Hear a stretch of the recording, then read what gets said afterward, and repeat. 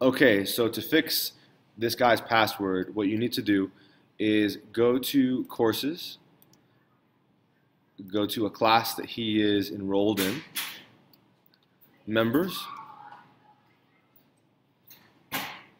find his name, and over here, you're gonna go to change change password.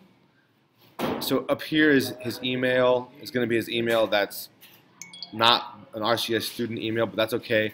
But here, you can give him a new password. So you type in the new password, make sure you tell him what it is, and then press submit, and that should fix our problem.